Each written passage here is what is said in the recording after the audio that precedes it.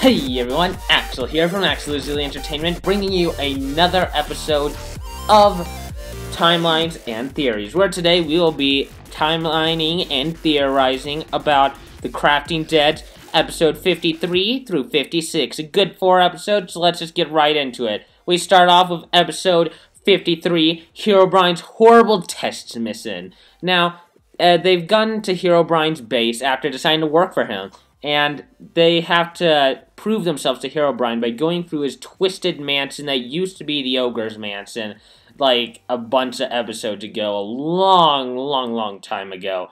Uh actually not too long but a pretty long time ago. So they have to go through and they have to fight mini zombies. They find unkillable zombies which Herobrine has created to be one of their final tests.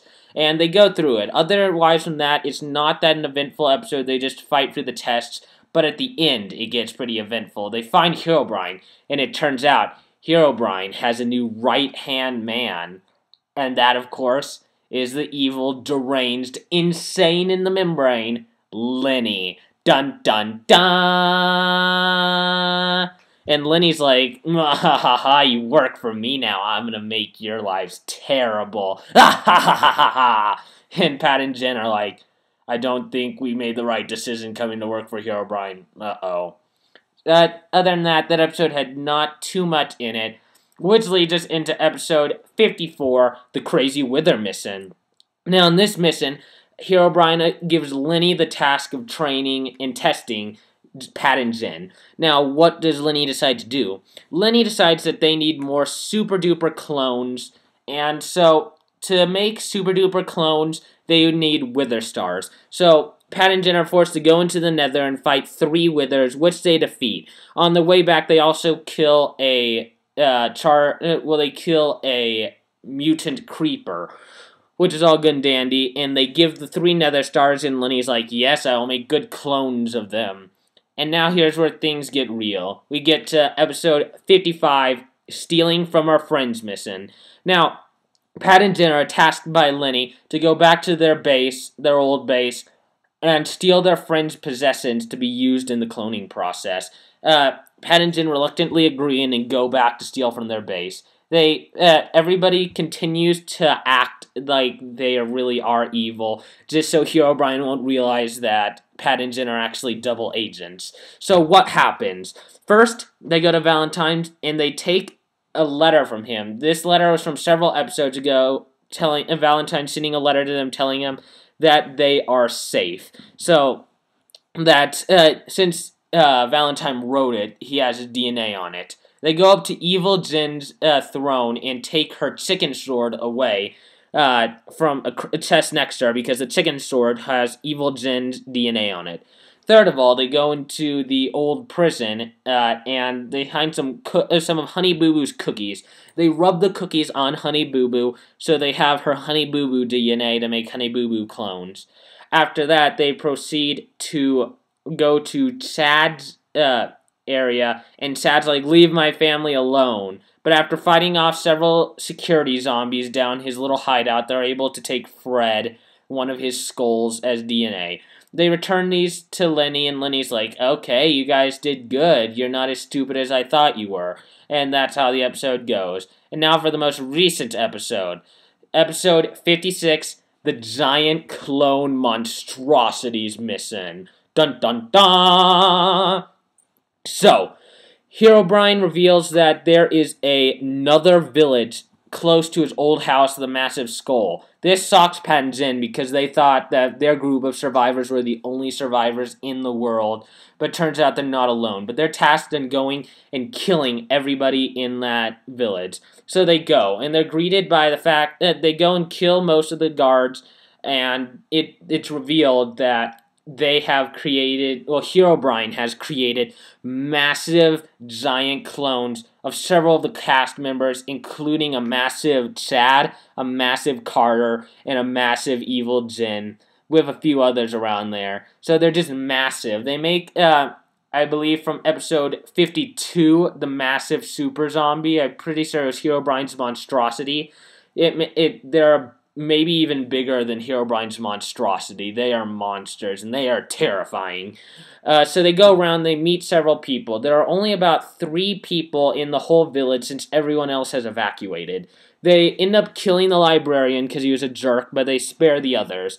But after they uh, uh, killed the guards and they uh, have done all their looting and stuff, they're forced to do what Herobrine said they had to do. They had to blow up the village, uh, which uh, they destroyed it using uh, compressed C4, like compacted C4, and they just blew the whole thing sky high. And this is a pretty jerky thing to do. We don't, uh, we know the librarian's dead because Pat shot him, but the farm girl that they met and the rich man that they met still have the possibilities to be alive. Uh, but you never really know. So that brings us through all of the timelines. So now let's get into the theories. Now, I'm going to bring this up in every video until it happens, but Pat and Jen, please make evil Pat happen. I want there to be an evil Pat. That would be hilarious. But into the real theories. Well, we've gotten on episode 56, we've gone saying that we have not seen throughout the entire series the prospect that there are other living humans still in the world. Uh, so there are a few people there. They say that uh, the people in the village said that their uh, fellow villagers have escaped. So that means there are most likely still living people out there somewhere. Uh, but for the people inside the rich man and the farming girl, I I'm not sure about their survival. I kind of think they're dead because they uh, there's not a huge reason to keep them alive because they had like a minute of screen time each. Though I think the rich guy might be alive because I know that they always if a character stays alive, they stay alive because they have a good and funny personality, and I think the rich guy does have enough of a personality to warrant uh, Pat and Jen keeping him alive in the series. But I honestly can't say if they're alive or dead. It would make it seem that they're dead because their base got blown up, but for all we know, they left uh, before it blew up. And uh, with these new giant zombies, they're explosive proof, according to Herobrine. So they're really dangerous. They can't be blown up by explosions. They, uh, they're giant, massive clones. This is a really bad thing that Hero Herobrine's got, and it's, it's pretty dangerous. I think that these guys could potentially be a very major uh, villains in the series. I think that maybe what'll happen is maybe they'll become the bosses. Like every five or so episodes, we have like a mega boss that they have to fight. Like at the beginning of the series, they had to fight Bob when they nuked his house. Uh, they had in episode 52 they had to fight the supermassive uh, Herobrine's monstrosity every once in a while they have to fight uh, a giant monster to continue. It's kind of like a season finale, except it's once every like five episodes and it's not the end of the season. Because I'm not sure if they're gonna do seasons. I hope the series continues for a long time. But one major theory is how is the overarching story of the killer gonna go? I think that as the series is going on, I think that eventually Herobrine is going to be succeeded by Lenny. Lenny is an evil psychopath, and I think eventually he'll probably overthrow uh, Herobrine. Or Pat and Jen will kill Herobrine, and Lenny will take his place being worse than ever. Because Lenny, I think he's going to end up being the big villain of the series, at least eventually. Because we know that the main villains never stay the main villains forever. Like at the beginning of the series, Bob was the main villain, but he's turned good. Uh, Valentine was the killer for a while, but then it turned out he was being hypnotized. Uh, uh, Haas, you could say, was the main villain for like one episode when he revealed he was bad and he locked them up. Uh, like two episodes, really, but that was just him working for Herobrine. But the main villain never stays the same for too long, and I'm thinking Hero Herobrine's probably been the main villain longer, and probably most the other main villains have been in the series. So I can tell the end is probably coming from him. he's not going to be a part of the series for much longer, I believe. I think Lenny's going to stop him and defeat him and become the new Hero Herobrine.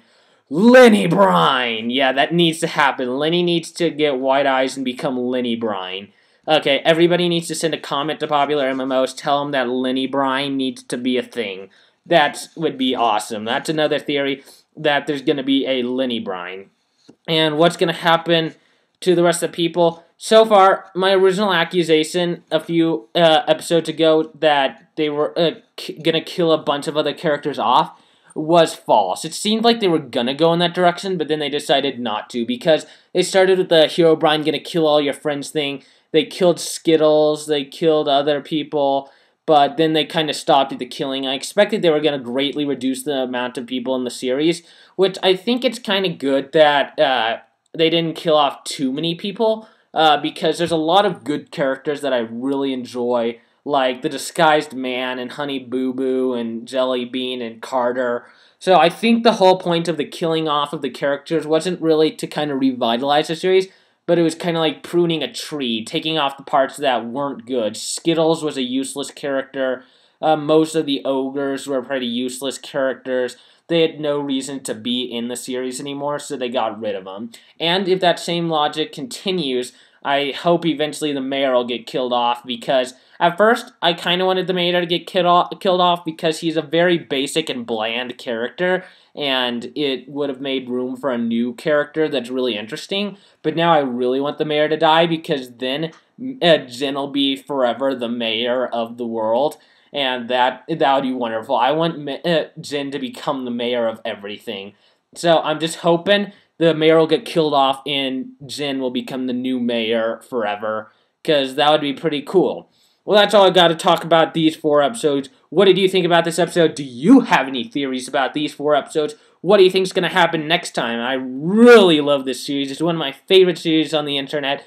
I'm just having a ball watching it. So, what do you guys think? Leave a comment in the section below. Like and subscribe. Until next time, I'm Axel from Axelazuli Entertainment. And goodbye!